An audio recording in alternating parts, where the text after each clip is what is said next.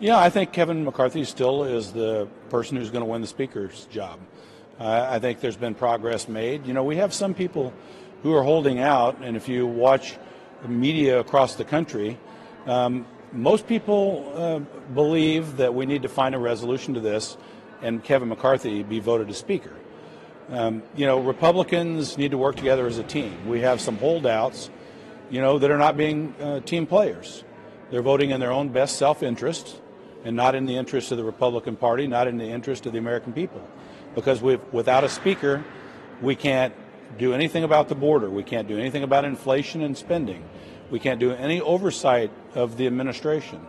We can't do anything. In fact, right now, because we don't technically have security clearances, many of our people, all of our people, in fact, on House the House Intelligence Committee, don't have a security clearance to meet with any of the administration's people, whether that's at the FBI, the CIA, the NSA. And do I? I don't think that's going to impact our national security. Uh, but what it does is it takes the House of Representatives out of the picture and leaves it to the administration and the Senate to do oversight or have discussions as it relates to our national security. So, you know, this is a big problem that needs to be rectified. And I think uh, what you're going to find is some people need to determine that there's an endpoint and they should take yes for an answer. They've, we've been giving all kinds of things uh, as far as rule changes, which most of us supported in the first place but they just won't take yes for an answer. And I think fundamentally they're digging themselves in a pretty deep hole. I know some of them today say it's just never going to be Kevin. With that in mind. Yeah, I think they're wrong, actually.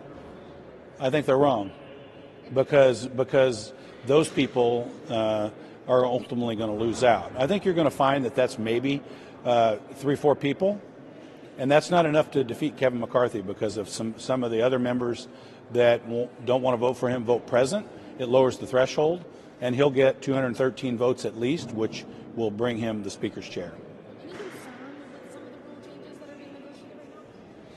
As far as the House rules, no, I don't have any concerns at all. I think, you know, there needed to be some rule changes that empowered the rank and file members of Congress and took a little bit of the uh, power away from uh, just the leadership, re empowering the committee structure so that individual members and individual chairmen or ranking members of committees um, have the power that they're supposed to have.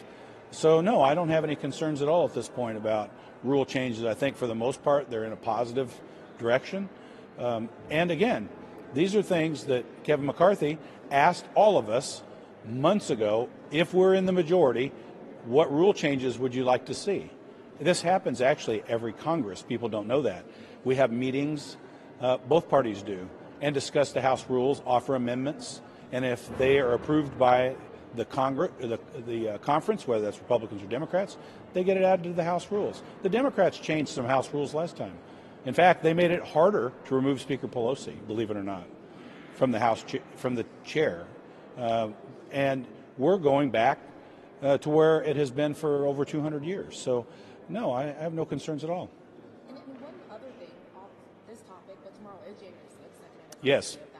Uh, any thoughts, any reflection, any uh, lessons learned looking at the violence that occurred? Yeah, I mean, I think obviously it was a bad day. I was in my office uh, in Rayburn House Office Building for eight hours, locked down.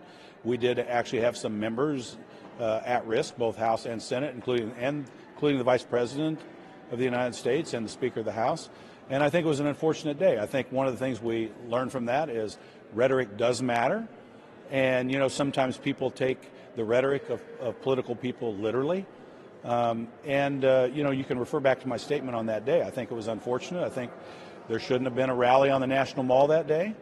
Um, and uh, I believe the Vice President of the United States, uh, Mike Pence, did the exact right thing, and I'm in full support of what he did. In fact, I voted to certify the election of Joe Biden someone who I disagree with on almost every issue because I believe it was my constitutional duty to, to do so. So, yeah, it's a dark day in American history um, that we don't want to repeat. And as you know, we've changed the law somewhat so that it takes more members on the House and the Senate to uh, object to what the vice president's role is, ceremonial, to count the votes from the states. I, am a belie- big believer in the federal system all of the states certified their electoral college votes. No one sent up uncertified votes. The Vice President of the United States, Mike Pence, absolutely did the right thing. I know um, at the end of this last Congress, Democrats recommended criminal uh, charges against the former president. How important do you think it is to hold him accountable for what transpired? Well, I mean, he has been accountable. He lost his election. And so, you know, I think that's the important thing. You know, when, when the election came around, he lost. The American people did not reelect him president, and I think that's where the accountability comes. Uh, I disagree with the, them submitting uh, criminal charge recommendations. First of all, they're recommendations, and the Department of Justice may or may not do anything with them. They're already doing their own investigation. And the other thing is that select committee was not, uh, I think, a legitimate committee because Speaker Pelosi denied us the people we wanted on the committee.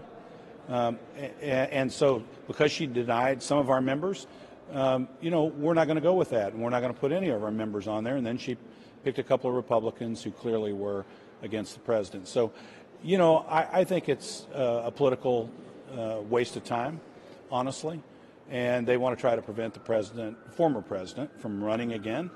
Um, I get that, but I think it's the American people who held him accountable by not reelecting him to office. Thank you.